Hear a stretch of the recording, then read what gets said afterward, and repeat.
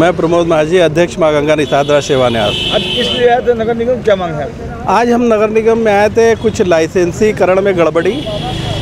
जो लाइसेंसीकरण की गड़बड़ी की बात करने के लिए हम आए थे और यहाँ पर हमने पत्रक भी अपने अनुज्ञप्ति अधिकारी जी को भी दिया है और राजीव जी को और महापौर जी से भी हमने बात की। अंत में यहाँ पर ये बात जाके तय हुआ है कि आगे हम लोग एक बड़ी बैठक करेंगे। और बैठक में कुछ उनकी, कुछ अपनी सारी बातों का जायज़ा लेना है, क्योंकि बहुत सारा लाइसेंसीकरण जो गड़बड़ी हो गया है, उसको सुधार करने की बात की गई है।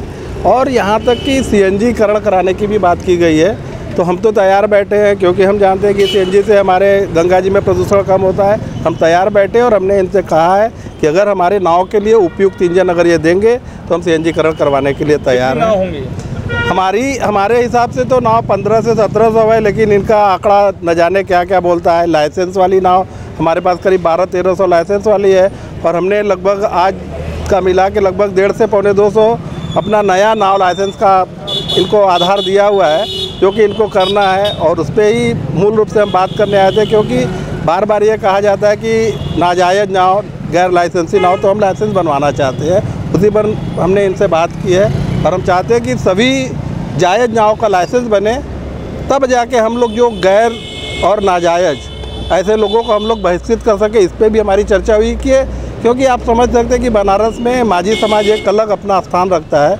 जिसमें बहुत सारे ऐसे लोग भी हैं जो कि गैर माझी लोग।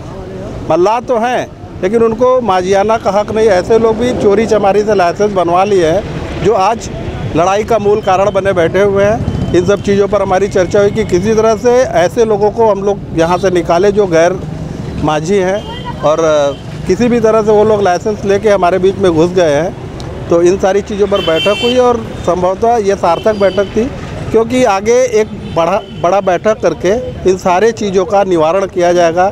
ऐसा महापौर जी ने भी हमसे कहा है कि आप बैठिए, अपनी बातें करके आप हमारे पास आइए, जो भी आप लोग का रास्ता है उचित रास्ता निकाला जाएगा। हमारे वहाँ पर राजीव जी थे अपर नगर। माझी समाज को किस तरह से इसको प्रति प्रेरित करेंगे? देखिए हम माझी समाज को जहाँ तक सी करण में हमारा मामला है हम सारे माझी भाई से ज़रूर हम बोलते हैं कि सी करण करवाइए क्योंकि अगर हम सी करण करवाते हैं तो माँ गंगा शुद्ध हो जाएँगी। इस पर सी के लिए हम प्रेरित करते हैं लेकिन एक तरफ़ माँ गंगा की बात है, दूसरी तरफ़ अपने पेट की भी बात है। तो सी करण तो हम करवाना चाहते हैं, लेकिन हमको उपयुक्त इंजन भी मिलना चाहिए। ऐसा इंजन ना हो कि आज लगवाए और दो दिन बाद हमको वो इंजन निकाल के फेंक के फिर अपना डीजल इंजन लगाना पड़े। ऐसे इंजन का हम बहिष्कार भी करते हैं अच्छा इंजन लगवाए, सीएनजी को हम स्वीकार करते हैं, लेकिन इंजन को सबसे मस्ट हमारा विषय है कि इंजन सही होना चाहिए। आज के दिन में घाटों पर अगर ढूंढ ले तो सैकड़ों की संख्या में ऐसे इंजन फेंके पड़े हुए हैं जो लगने के दस दिन बाद पंद्रह दिन बाद ख़राब हो गए। बार बार कोशिश करने के बाद भी लोगों ने इसका संदर्भ में भी बात की आप? जी हाँ हमने इंजन के संदर्भ में भी बात किया है और अच्छे इंजन की मांग की अच्छे इंजन जब ये देंगे हम पूरे बनारस के लोग सीएनजी को स्वीकार करने को तैयार बैठे हैं।